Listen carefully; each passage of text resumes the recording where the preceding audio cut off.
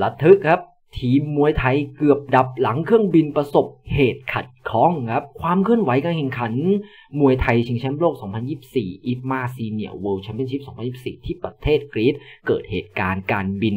สายการบินดังหวิดย่างสดผู้โดยสารยกลำครับ ซึ่งคณะนักกีฬาเจ้าหน้าที่ทีมมวยไทยสื่อมวลชนร่วมด้วย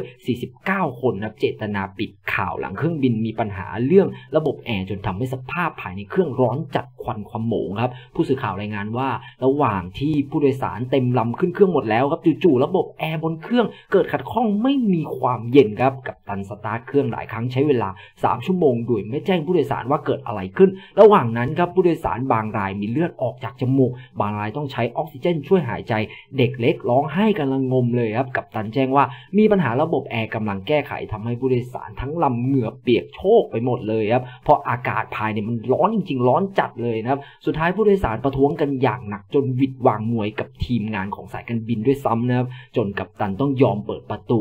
ดรอปผู้โดยสารลงจากเครื่องและปล่อยให้ผู้โดยสารเคว้งอยู่ที่สนามบินกรุงเอเธนส์ประเทศกรีซนะครับอย่างดีนะครับไม่มีใครเป็นอะไรนะครับผมโอ้โหมันอันตรายจริงๆครับ เหตุแบบนี้มันเกิดได้ทุกเมื่อทุกสถานที่จริงๆครับก็โชคดีครับที่ไม่เป็นไรครับผมสำหรับคลิปนี้ก็ต้องขอตัวลาไปก่อนเจอกันใหม่คลิปหน้า